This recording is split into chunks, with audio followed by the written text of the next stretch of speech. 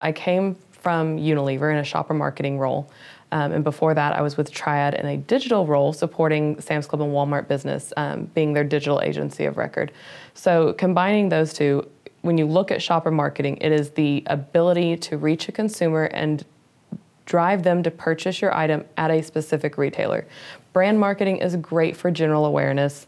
Um, just saying, hey, we've got this great item and it's wonderful and you should buy it. Shopper marketing is telling you where you should buy it.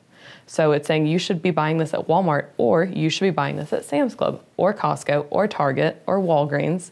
Um, and so that's really the difference between brand marketing versus shopper marketing.